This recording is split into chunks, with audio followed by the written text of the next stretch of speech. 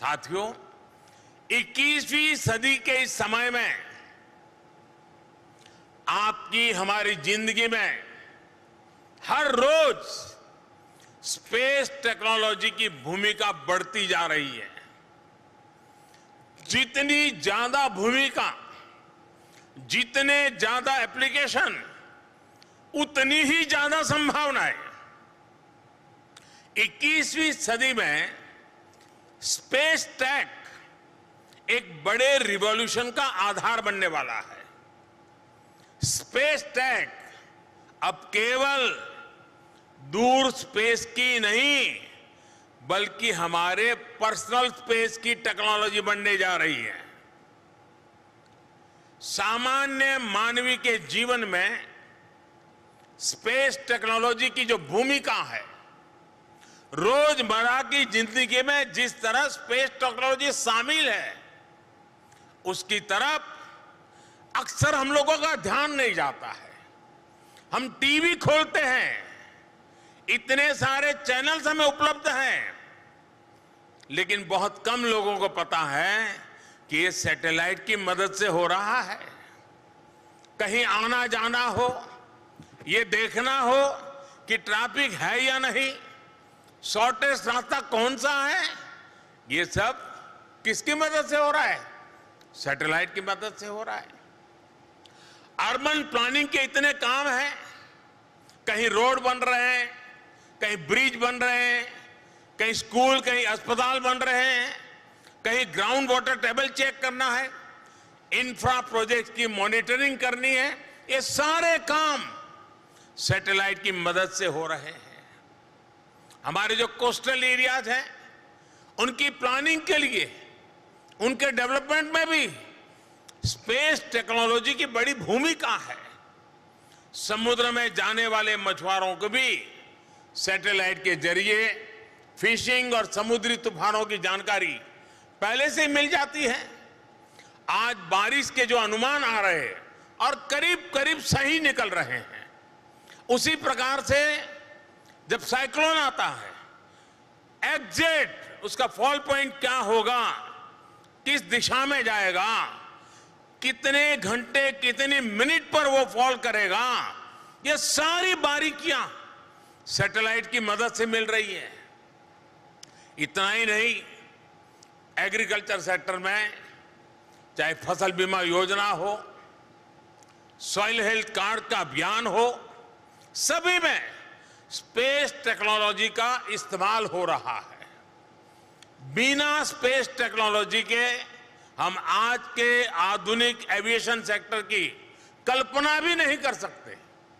ये सब सामान्य मानवीय के जीवन से जुड़े हुए विषय हैं। भविष्य में, और आपको मालूम होगा इस बार बजट में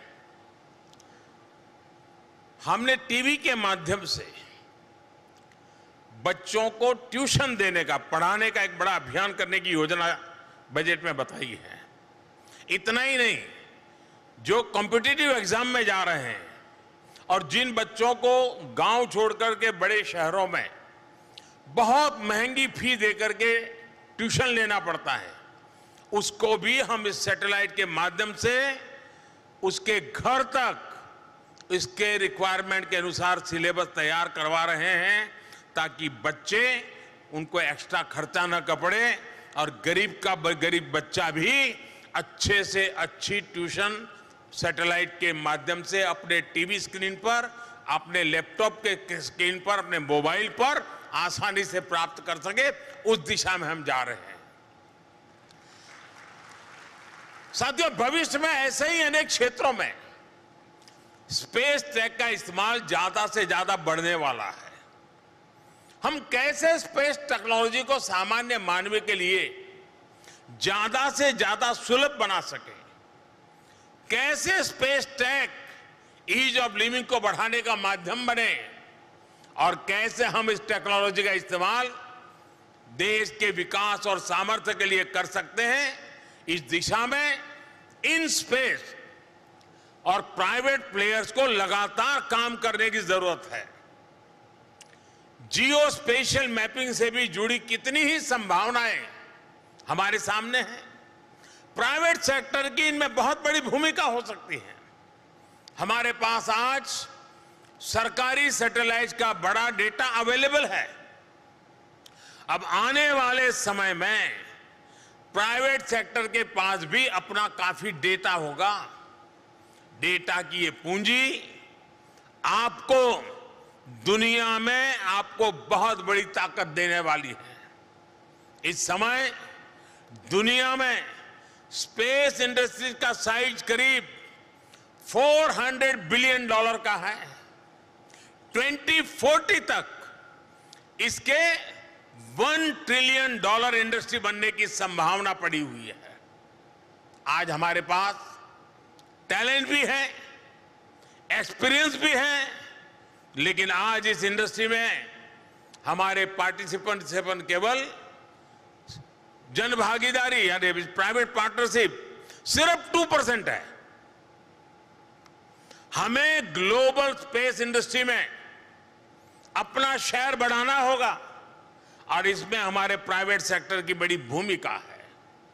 मैं आने वाले समय में स्पेस टूरिज़्म और स्पेस डिप्लोमेसी के क्षेत्र में भी भारत की मज़बूत भूमिका देख रहा हूँ।